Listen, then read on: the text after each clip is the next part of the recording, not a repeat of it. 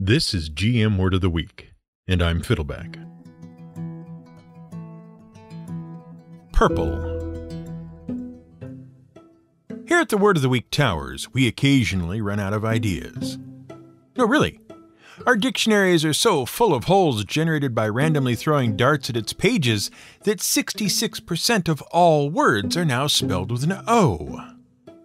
Apparently. The various creature catalogs, monster manuals, and basic bestiaries we own are so dog eared that we take them for walkies every few hours just to prevent accidents.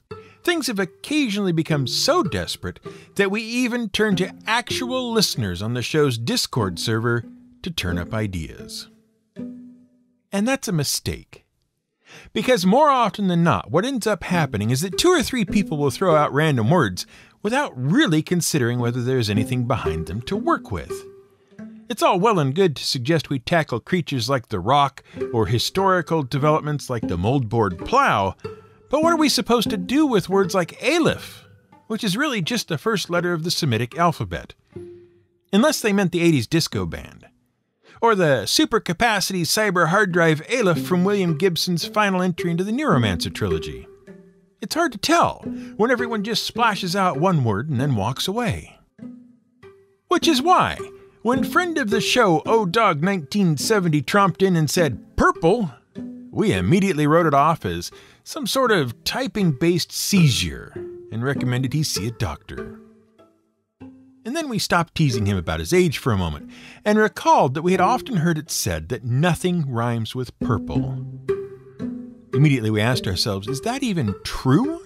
In all the English language, comprised of words stolen willy nilly from practically any place that hadn't nailed them down, was there really nothing that rhymed with purple? And so here we are.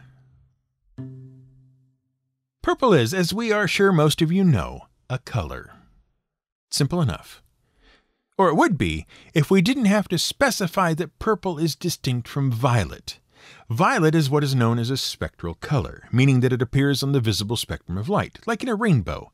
It just hangs out there on the opposite side from red. Purple, on the other hand, is not a spectral color. It can only be obtained by mixing equal parts red and blue, making it a secondary color. Unless, of course, you're talking about pigments instead of light. On a color wheel, violet and purple are generally both between red and blue. Purple is closer to red, Violet is closer to blue and not as saturated. And don't even get us started on crimson, which sits between both violet and purple.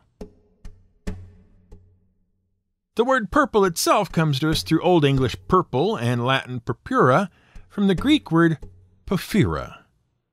The Greeks may have used this word because located off their shores were beds of shallow, cold water loving seaweed known by the same name. Porphyra seaweed is notable for three things.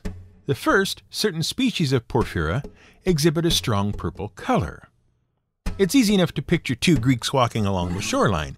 One would turn to the other to ask what that red blue color is on that seaweed. The other, being a smart alecky sort of Greek, would say, It's Porphyra color, obviously. Duh. Second, Porphyra goes by another name. You've probably run across it before if you've eaten any amount of sushi. In Japan, it is called nori, and in Korea, gim. Nori is the shredded and dried sheets of seaweed used to wrap sushi and other edible products in Japan. Its use dates back to at least the 8th century in a paste form. It wasn't until the mid 1700s of the Edo period that the Japanese decided it was much nicer in dried sheet form and invented a process much like paper making in order to produce it that way. Even so, for such a staple part of their diet, the Japanese didn't really understand how nori grew and was cultivated. After World War II, they had tremendous difficulty growing it at a time when food was at a premium for the Japanese people and they needed all they could get. Thankfully, Japanese scientists found the work of phycologist Kathleen Mary Drew Baker, who had been working with the seaweed off the coast of Wales, where they also grew it for food. Using her research, they quickly recovered the industry. So important and crucial was nori that Baker was hailed as the savior of the Japanese nori industry. She was called Mother of the Sea, and a statue was erected in her honor by the Japanese people. One of the reasons nori was so important to Japan, and the third thing on our list of three notable things about porphyra, is that it is an easy source of some essential vitamins. Being mostly composed of water and just 11% of things that are not water, porphyra provides a significant portion of the vitamins A and C, riboflavin, and folate, as well as smaller amounts of niacin, iron, and zinc. Most important of all, though, porphyra contains high amounts of iodine. If you took high school chemistry, you'll recognize iodine as the heaviest of the stable halogens. It's atomic number 53 and has the letter I as its atomic symbol. Under normal conditions, it's a purple black solid that becomes a violet liquid and then gas when heated. In 1811, French chemist Bernard Courtois, who was looking to make more saltpeter because the Napoleonic Wars were still in full swing and people were running out of the stuff because of all the shooting going on, Courtois discovered that one of the key ingredients in saltpeter, sodium carbonate, could be found in, you guessed it, seaweed. Basically, you get a lot of seaweed together and burn it. The ash it leaves behind contains all the sodium carbonate you could want, but also a lot of other stuff you don't want. So, rather than leaving the remaining ash around to pile up, you douse it in sulfuric acid, which would destroy all the leftover junk. Unless, of course, you added too much sulfuric acid, in which case the excess would make this neat purple vapor rise out of the stuff you were trying to get rid of. If you allowed it to condense against a cold plate, you got little purple black crystals. Well, Bernard didn't know what that was all about. It was neat, sure, and he was pretty certain he'd stumbled onto something new, but because of the aforementioned lack of saltpeter, he didn't have a lot of time to investigate it. So instead, he handed out samples of this new material to all his friends and acquaintances like it was some sort of party favor, and told them to go ahead and have a look at it. Eventually, they worked out they had a new element to add to the periodic table and called it iode, the Greek word for violet, after the color of the gas it gave off. One of the people Courtois gave a sample to was a guy named Nicolas Clement. Not familiar? Well, he should be. Part of Clement's research into iodine, particularly the compound silver iodide, paved the way for the development of photography. And if you want to look good in a photograph, you have to know about the other thing Nicolas Clement did. He's famous for counting. And what he counted was calories. Counting calories is often used as a means to better health. If you watch the calories you take in and make sure you burn more calories than that amount exercising, losing weight is practically guaranteed. Except that sometimes losing weight is particularly difficult for some people, especially those who suffer from hypothyroidism. Hypothyroidism is a dysfunction of the thyroid gland which causes it to stop producing enough of the hormones needed to regulate the body's metabolism. Symptoms can include tiredness, constipation, depression, and significant weight gain, as well as the occurrence of goiters. During the 1800s and into the early 1900s in the United States, there was practically an epidemic of hypothyroidism. Particularly badly hit were the Appalachian, Great Lakes, and northwestern regions of the United States. In fact, it was so bad that 26% to 70% of children in those regions had clinically apparent goiters and it earned those places the name the goiter belt. And what's a goiter? Well, a goiter occurs when the thyroid gland, located in your neck, begins to swell. When that swelling gets large enough, it becomes visible as a large lump or sac at the base of the neck and continues to swell until treated. Some get as large as baseballs, others achieve basketball size, and the reported largest goiter ever recorded was removed from a 60 year old woman in India in 2015 and weighed over 6 pounds. During the draft for World War I, one Michigan doctor reported that of 583 draftees, fully 30% had significant goiters that disqualified them from service. And in parts of Michigan in the following year, that percentage climbed to 64%. The worst part is, most of it was entirely preventable. Scientists, doctors, and other health officials had known since the 1830s what the cause was iodine deficiency. Tests showed that in people who had goiters and other signs of hypothyroidism, a dosage of iodine produced immediate improvement. And it didn't even have to be that big a dosage. As little as 150 micrograms of iodine a day was sufficient to prevent it. Which is why, since 1924, the rate of hypothyroidism due to iodine deficiency in the United States has dropped to almost nothing. That's the year Morton Salt started selling iodized salt, that is, salt with iodine added to it, commercially, in the US. Not only did goiters virtually disappear, people got smarter too. The introduction of iodized salt coincides with an increase in IQ. A 2013 study found a gradual increase since 1924 in average intelligence of one standard deviation. That's 15 points in iodine deficient areas and 3.5 points nationally. But we digress. Here's one other thing we know about purple, and we bet you know it too. Purple is the color of royalty. Only kings were allowed to wear purple, and so that's how you'd know who was king. He was the guy dressed in purple, because only kings could afford it. Well, the real story turns out to be a little bit of yes, but also a lot of no. But to understand the whys and wherefores, you have to go way, way back in history. It wasn't that purple was particularly rare in general. It was that a particular kind of purple was rare. See, you could always go out into the fields and find purple flowers and rub them against various things to transfer the purple colors to a new item. And certain bugs would produce a kind of purple dye as well when squashed. But these tinting and dyeing efforts never really lasted. The color would fade the more it was exposed to sunlight, and it was really hard to get the dye to even work on animal based fabrics like wool and silk. It just didn't seem to take at all well. Then, in the ancient Phoenician city of Tyre, someone killed a snail and a tiny bit of purple came out of it. And whomever that was immediately became immensely rich. At least we presume that's how it happened, because it was about 1570 BCE when the first instance of what is called Tyrian purple first showed up, and no one really thought to write down how it all happened. And Tyrian purple is the good stuff, the stuff you really want to have, because it does two things that no other purple dye could do. First, it didn't fade, it was color fast. And not only did it not fade, it actually got brighter and more vibrant the more it was exposed to sunlight. Where other purples became washed out and faded until they looked mostly off gray, Tyrian purple just kept getting richer and richer. Second, it was easy to get it to work on wool and silk. Now you could dye anything you wanted in this deep, rich purple. Capes, togas, shoes, cushions, curtains, rugs, anything made of any fabric would take the color and keep it.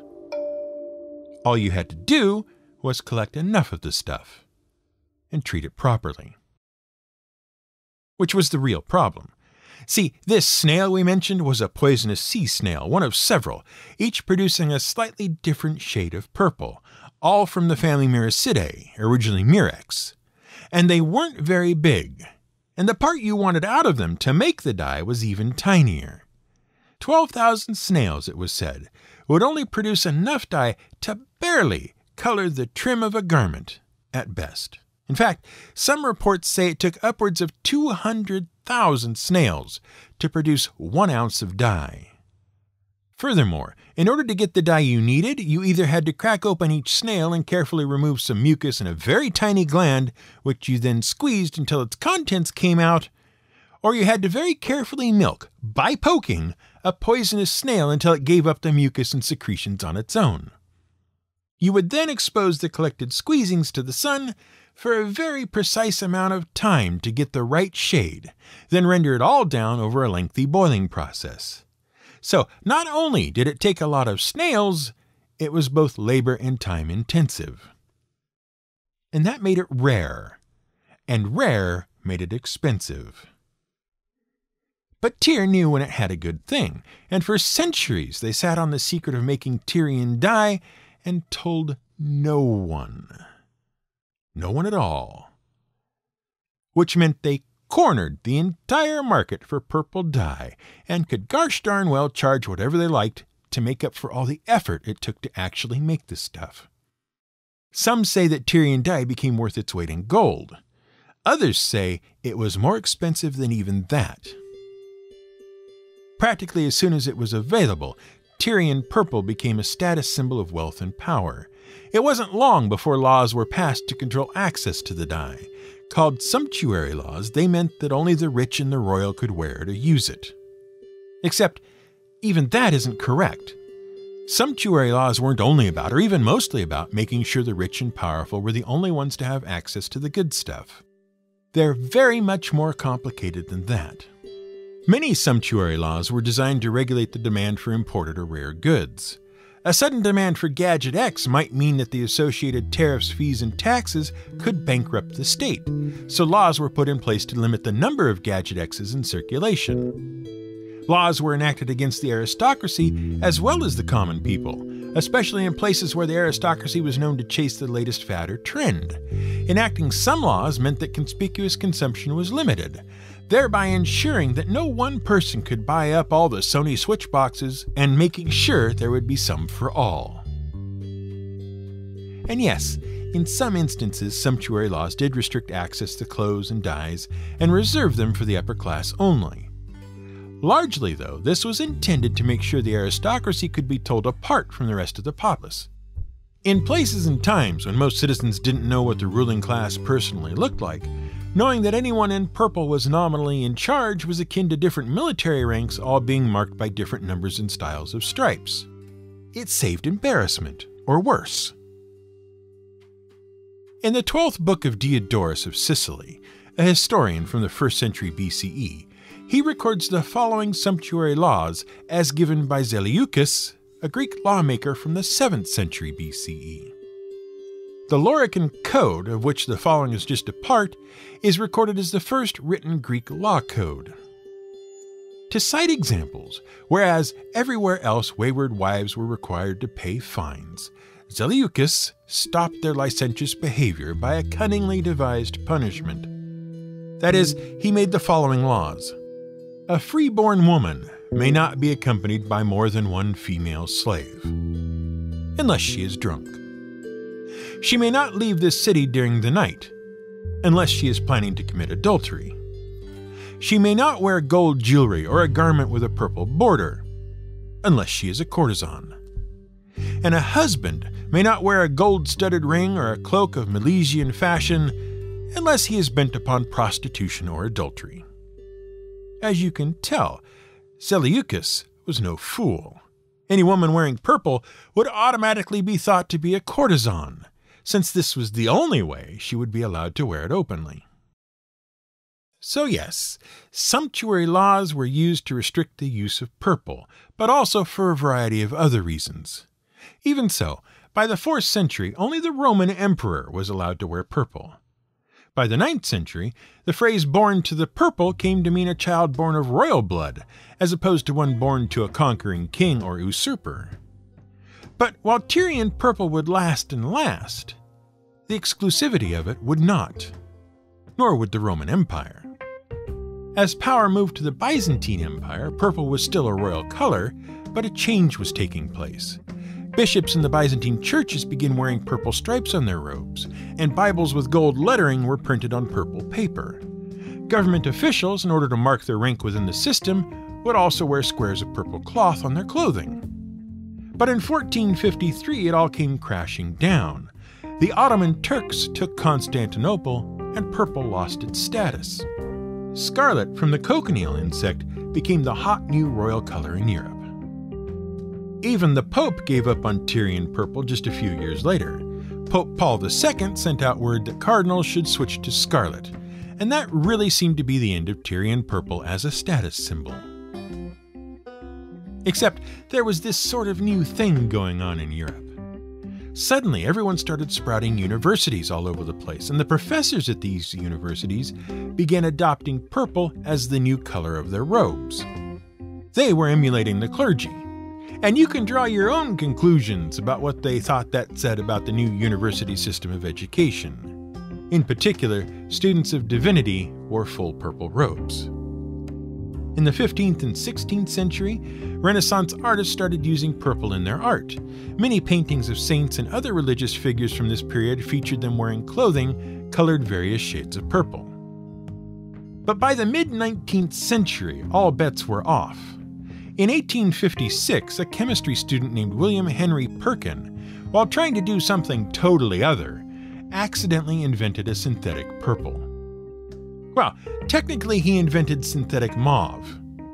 But that was close enough, and it became all the rage in Europe. At the Royal Exhibition of 1862, Queen Victoria wore a silk dress dyed mauve, and that was the go signal for every fashionable person everywhere to start turning out in a new color. Perkin, no slouch, refined the process and quickly built factories to produce the dye. Because who doesn't like raking cash in hand over fist? Pretty soon, everyone had access to mauve and could wear it whenever they liked. Not long after that, synthetic true purples became available, and even we, humble hosts that we are, have access to shirts and sheets and curtains in formerly royal colors. But what, we remind ourselves, about our original question? Is it true that nothing rhymes with purple? Does no other word contain that tantalizing mix of syllables? Well, by way of answer, we offer you the following a small composition of our own design. There once was a man all in purple, who walked with a bit of a hurple. He fell off his horse and made matters worse by forgetting to secure its curple a limerick, and it wasn't even a bit purple. This has been GM Word of the Week. It's written and researched by the Angry GM and produced by me, Fiddleback. You can support us on Patreon at patreon.com slash gmwordoftheweek. You can find more at gmwordoftheweek.com and theangrygm.com.